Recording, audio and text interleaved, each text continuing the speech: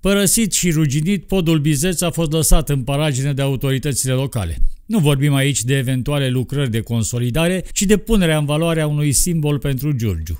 Câteva găleți de vopsea, un pospai de asfalt și o reparație sumară la partea pietonală a podului ar da o altă față acestui adevărat monument istoric al municipiului.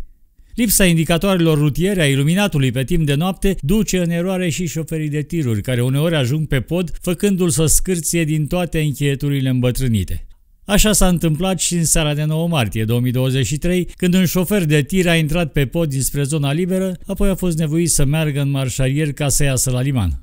Nu vrem un drept la replică de la primărie. Acest material este doar un semnal de alarmă. Executivul din primăria Giurgiu să-și facă treaba pentru care a primit voturi. Dacă cerem prea mult, atunci demisia.